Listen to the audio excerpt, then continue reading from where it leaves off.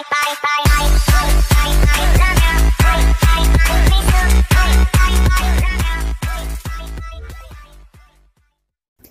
what's up guys, welcome back to my channel Duampar. Dan yo guys di video kali ini saya akan membagikan tips atau tutorial kepada kalian semua ya para subscriber dan subscriber baru.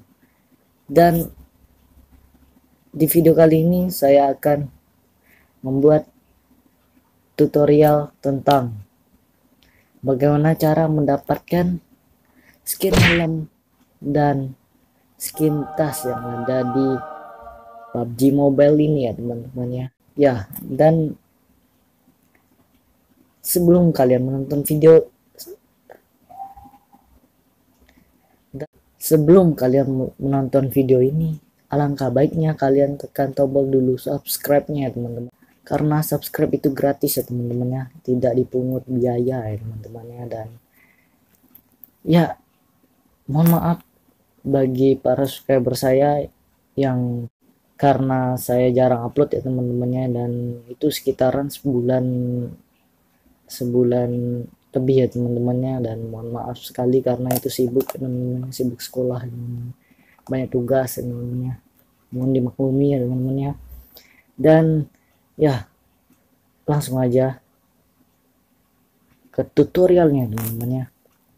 Dan yang pertama kali kalian itu harus mendapatkan baju baju ini ya teman-teman ya.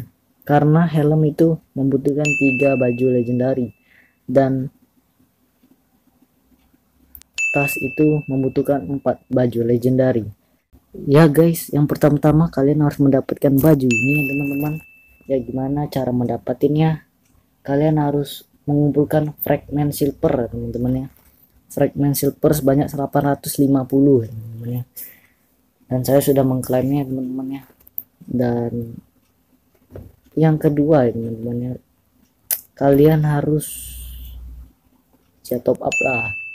Top up seharga 10.000 aja dapat. Dapat skin. Dapat skin ini ya teman-teman ya. Leopard strength si Mac leopard tentunya ini udah legendary ya eh, mythic teman-teman ya. Dapat item mythic. Jadi totalnya jadi dua teman-teman ya. Dan yang selanjutnya kalian harus dan yang ketiga ini kalian harus mendapatkan celana ini ya teman-teman ya. Ini celana loreng pendek didapatkan dari dari peti tentara ini ya. Ya dan yang terakhir kalian bisa mendapatkan ini ya teman-teman. Kacamata hitam atau rok mitik ini ya teman-teman ya. Dan ya. Dan yang saya dapatkan itu saya mendapatkan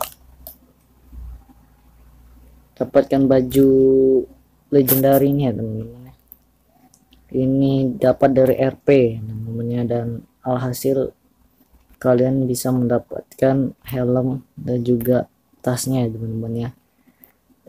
Mungkin sekian dulu dari video kali ini. Mungkin video ini sangat singkat ya teman-teman ya.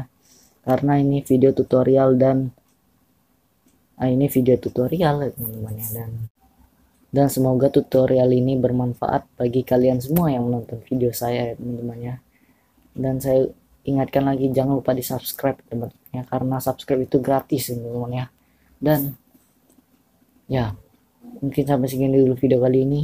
Jangan lupa di like comment share and subscribe. Saya part stay cool. Bye bye